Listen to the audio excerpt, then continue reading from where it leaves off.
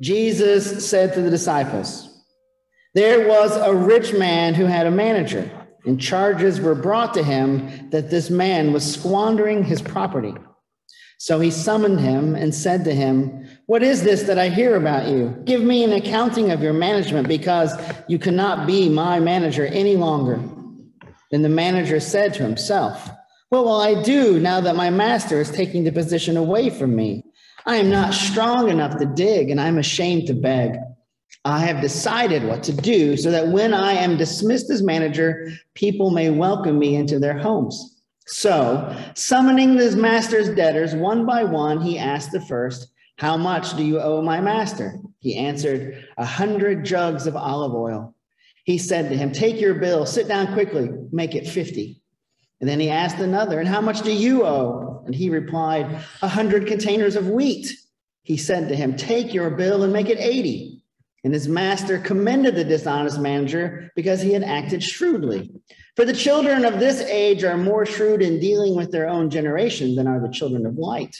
And I tell you, make friends for yourself by means of dishonest wealth, so that when it is gone, they may welcome you into the eternal homes. Whoever is faithful in a very little is faithful also in much. And whoever is dishonest in a very little is dishonest also in much. If then you have not been faithful with the dishonest wealth, who will entrust you to the true riches?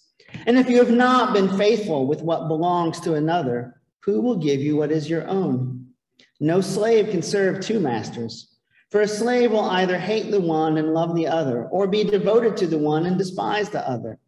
You cannot serve God and wealth. The gospel of the Lord. Please be seated. I have to confess that I have tendencies towards being a curmudgeon.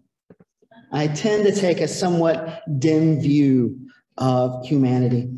And, and the nice thing about that is that I'm rarely ever disappointed and I am regularly um, pleasantly surprised.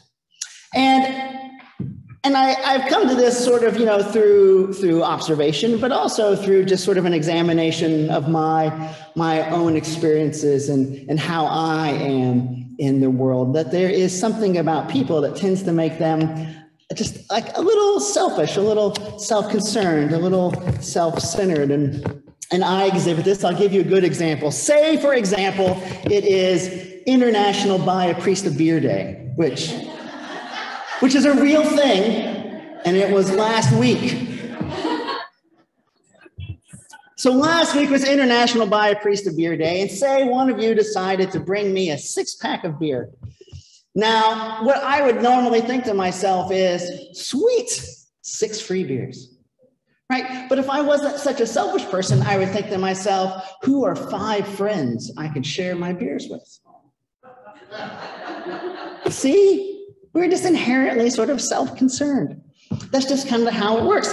And, and the thing is, is that all of us are sort of like this. And if we want to give it some churchy language, we can call it something like original sin or something, whatever. But there's just something about us that often puts a barrier between the generosity that God might ask of us and the generosity we really want to feel. And so we have this individually. And so when we come together, we can't help but have our relations with others sort of be impacted by this sort of innate way that we are right and so it's it sort of is accounted for in our relationships it's accounted for in our society and in our institutions in fact it's famously accounted for in our american form of government because if you you read the the framers of the constitution they were very concerned about the ways that sort of people are, they didn't use this language, but sinful.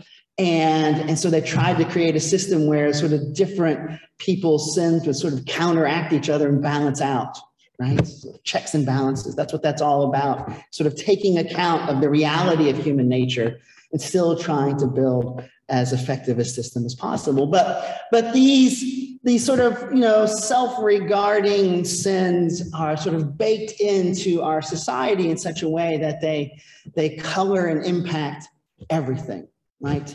Um, theologically, we call it uh, systemic sin, right? So it's not necessarily sin that, that you have personally committed, right? But, it, but you kind of get caught up and become sort of complicit in things, sometimes even without your knowledge because of this, this tendency of humans to, to, to bring their sinfulness into their societies, right? Probably the most famous example and the easiest one to explain is racism right? Now racism is a real problem in america and it has a long history and, and it, it's, it's sort of rooted in decisions that were made by people sometimes very long ago and sometimes really not that long ago right? But but racism is a system that seeks to give opportunities to some while denying opportunities to another right? That that when they built the highway through the city, it went through the parts of the city where all the African American people lived.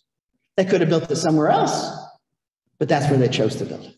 Right? In and they created social security. They specifically left out sectors of the economy, the economy that predominantly employed African American people right? So most African Americans in the 1930s were either farm hands or domestic servants, and those people aren't eligible to participate in Social Security.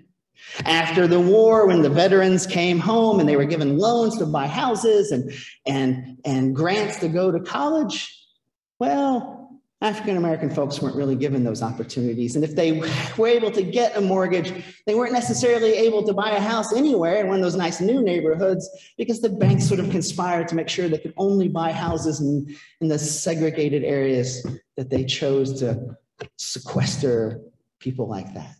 Right. And, and I will say, like our church, this parish, when they were building Highway 81, the leaders of this church really were concerned about the displacement of African American people in the city, and they they created a coalition on the west side that tried to convince landlords to to rent to African American people. And if you probably look around at your neighbors, you will realize that that effort mostly fell on deaf ears, right? And so that's a that's a system that some of us we get advantages from, even though we may not personally be filled with any sense of, of malice or prejudice or bigotry. I mean, I don't think anyone here is, is you know, motivated by racial hatred. And yet we live in a system of disparity. And, and, and even if we want to do something about it, we don't even know where to begin. And that's just an example, right? There's lots of systems like that. The way that that women have been treated for you know most of history. You know that like in the 1970s, up until the 1970s, a bank could refuse to open a checking account to a woman. Like she can only get it through her husband. That's astounding to me. Astounding. And so, so the problem with these systems is not just that it, it leaves certain people disadvantaged and that it denies opportunity to some people, but it also hurts those of us who benefit from the system because we could be benefiting so much more. I mean, there's only so many Mozarts that show up in the world, and only so many Einsteins, and only so many Marie Curies.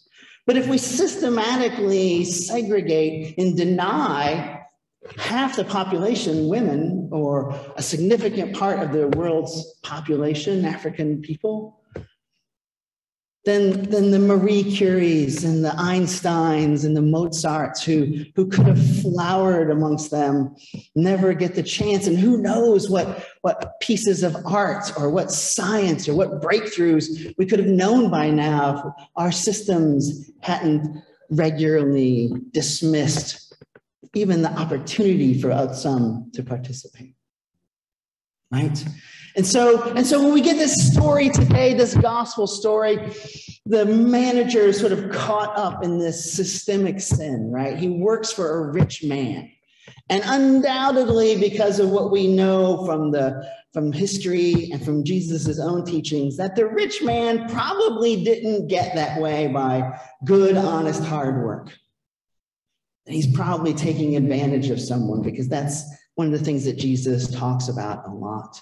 And so this manager is sort of complicit in this system of oppression that the rich man is enacting on his debtors. Maybe he overcharges, maybe you know usury, like excessive interest rates. That's a that's a sin and a violation of the Mosaic law.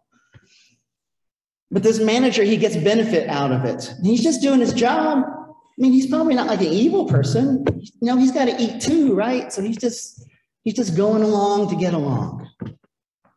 But but somehow maybe he kind of got off the track here and he's about to be fired. And so he goes to these his debtors that the rich man has and, and he forgives a whole bunch of their debt, just like you owe 100, make it 50. You owe 100, make it 80. I don't know why it's not always the same, but at any rate, he goes around and he he undermines his boss by forgiving all this debt. And Jesus is trying to tell us something about how we are called to live when we find ourselves mired in these systemic sins that are, are just kind of part of the world in which we live in, that they are beyond our individual ability to change. And so, so how do we, as followers of Jesus, live in a world that is beset by these kinds of evils? And what the example that's given here, although the, the manager is, you know, acting a little selfishly, but he's also undermining the system, right? He's, he's in a way, he's sort of uh, doing civil disobedience, right? That he's, he's finding a way to subvert the system and in doing so, he's, he's hoping to reap benefit. But the same thing happens to us, right? Because if, if we can subvert some of these systems that, that systematically deny opportunity to others and deny us the gifts that they have to offer, we all benefit. That we would be more advanced and better off if, if the genius that arises in every generation and is able to flourish no matter where it comes from or in whom it resides. And so Jesus tells us that it's not enough to just go along to get along, that it's not enough to, to just be nice and, and keep our heads down. That's not what we're called to. We're called to, like the servant, to find ways to undermine the systems of oppression, to be, to be allies to the marginalized and the oppressed, to lift up those who have been pushed down and not just in our individual lives, but in our collective lives as well. Because if we are ever to work with Jesus in building the kingdom of God, we must first make room for it and clear away the kingdom of sin in which we live now. Amen.